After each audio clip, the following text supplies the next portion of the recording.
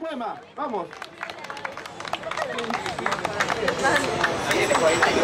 Eh, muy buenas noches.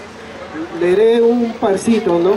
Este, este primero que leeré está inspirado en, bueno, pues no, que inspira el hombre, que inspira el músico, el poeta, el artista, el amor, ¿no?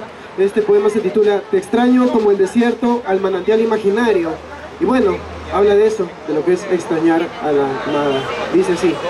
No tengo más motivos para extrañarte más que tu pura ausencia, tu ausencia de voz, como las viejas películas en blanco y negro, tu ausencia de brazos, como la Venus de Milo que mira el vacío, tu ausencia de ojos, como los que Edipo se arrancó partiendo al destierro, tu ausencia de amor por las noches, oculta el recuerdo de mis sábanas, y cada vez que se aproxime el anochecer, el fuego que se extiende en mis ojos me recalca en letras anchas y pesadas, tu ausencia de calor humano que me dice, oye, no me extrañes, no llores, ni huyes más. Sin embargo, yo te extraño, te extraño y fuerte. Extraño el silencio de tu calma, aquella paciencia de mujer que se hace infinita, y la claridad de tus sentidos, esos que cuando me tocan me hacen morir como momia petrificada, sin opción a reacción. Imagínate que la cosa es tan intensa que me sea en su mano, sea mi alma extraña la tuya, porque somos como la manzana del pecado y la serpiente que se busca durante el día y la noche. Bueno, muchas gracias, espero que les haya gustado. Este, voy a finalizar con un poema que he traído aquí.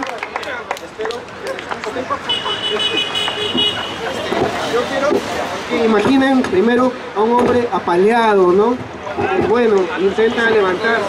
Dice así. Coloridos sueños vislumbran una realidad concreta. Sinfónicos juegos pacifican nuestro esqueleto. Han fenecido por completo los paisajes de la devastación encerrados en nuestro pecho. El dolor dejó de ser nuestro estandarte. Las sombras dejaron de acariciar nuestro rostro estupefacto. Nos alimentaron de cáncer y excremento. Fuimos el payaso de una tribu de psicópatas.